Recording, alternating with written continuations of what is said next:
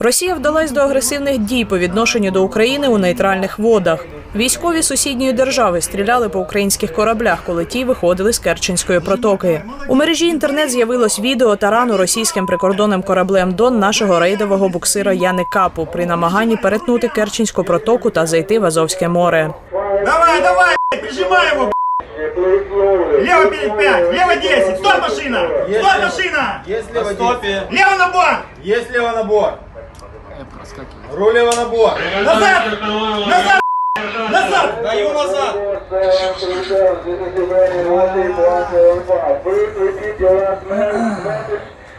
Давай, давай, держаться всем.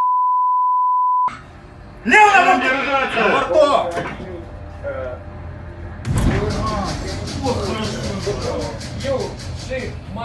Восемь двадцать один. Лево на борт. На борту. Лево. Два судна захоплені, ще одне заблоковано. Повідомив речник військово-морських сил України Олег Чалик. За оперативною інформацією захоплено МБАК Бердянськ і РБК Яникапу, які буксуються. МБАК Нікополь заблокований та слідує у супроводі окупантів. Е, Катер не ушкоджено. Наразі є інформація про шість українських військовослужбовців, які зазнали поранень. Це е, метод дій 2014 року, коли вони блокували наші кораблі е, в Донузлаві. Поставили паралельно танкер, поставили плавучий кран. Тобто використовуються ці гібридні, ці брудні методи стосовно заборони проходу порту. Перешкоджання і блокування військовими кораблями країни щодо заходу в порти та до прибережної зони іншої країни це підпадає під міжнародне право як агресія.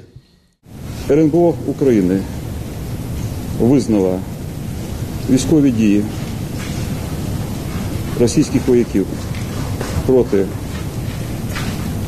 кораблів військово-морських сил України актом агресії проти нашої держави.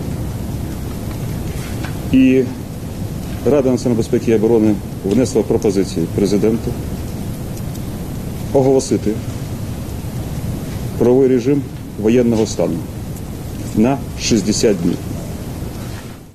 Президент України Петро Порошенко звернувся до керівництва Російської Федерації. Я звертаюся до керівництва Російської Федерації з вимогою негайно звільнити українських військовослужбовців, які в порушенні міжнародного права брутально були затримані і доля яких невідома. Ми вимагаємо терміново їх передати українській стороні разом з кораблями і терміново деескала...